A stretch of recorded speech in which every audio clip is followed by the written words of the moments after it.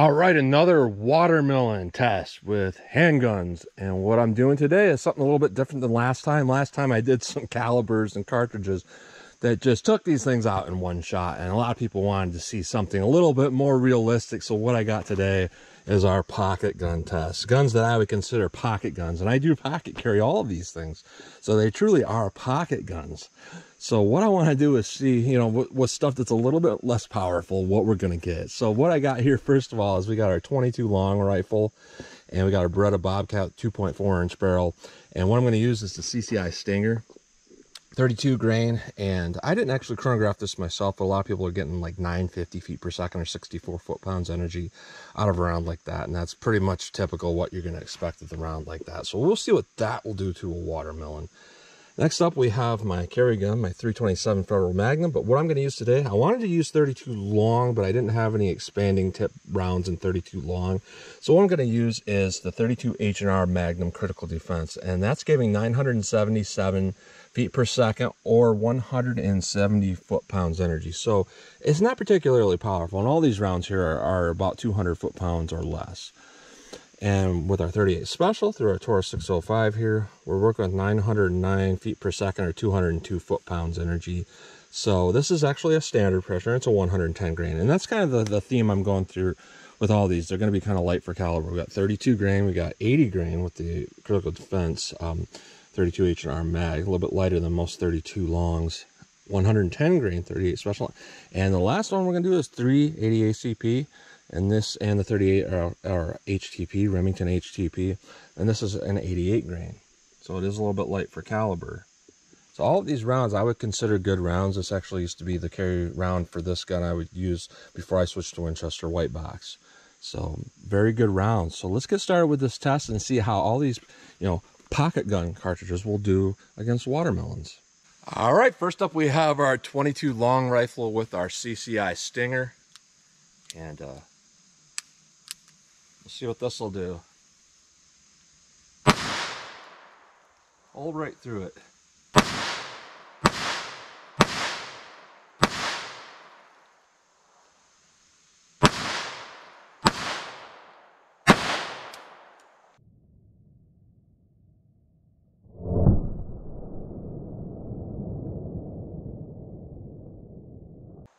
Interesting. Let me run some more. I flipped it around and you can definitely see right there on the back side, it was blowing big holes out the back. So pretty impressive in and of itself for that. Let me do a few more.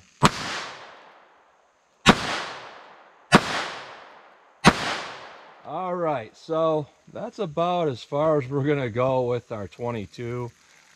Uh, so let's move on to something else. Next up, we have our 380 ACP. 380 is a decent round. A lot of people put it down, but I'm pretty sure we're going to have better results than that 22. So let's see what our 380 will do.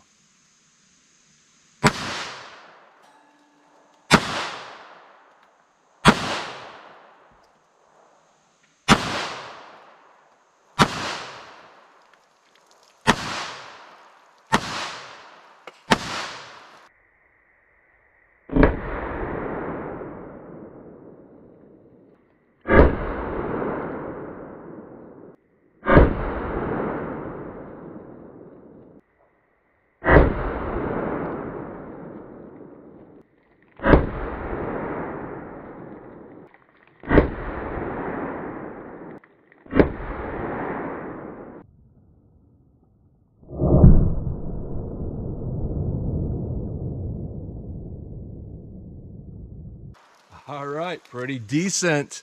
A lot better than a 22. So, you know, 22 and 380 really are not in the same category, even though a lot of people think they are. So let's move on to something else. All right, standard pressure 38 special next. We'll see what this will do compared to the 380.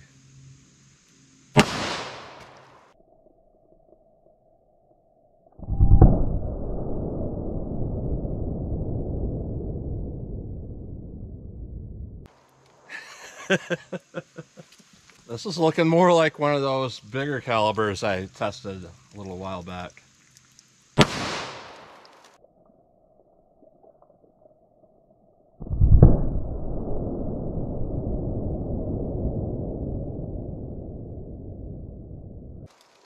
Yeah, no comparison.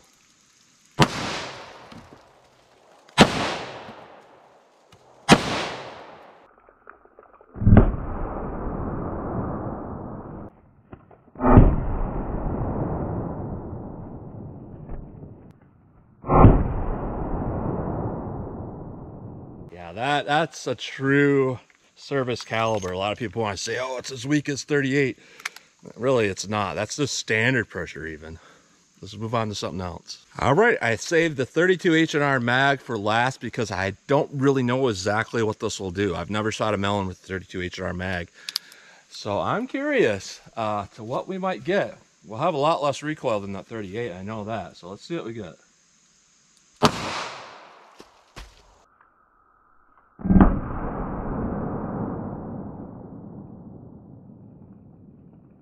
Wow, that was impressive. I didn't think it was going to do that. So let me uh, get a little lower, get the rest of these pieces.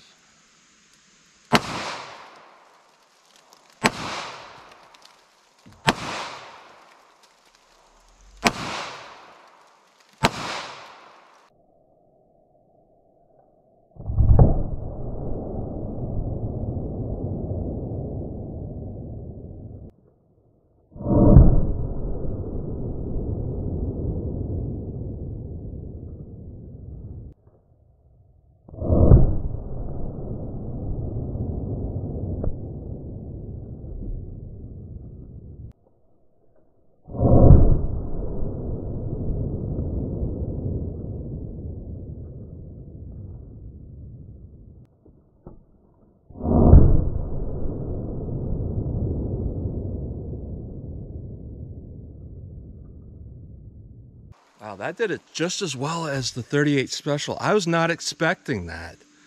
That was awesome.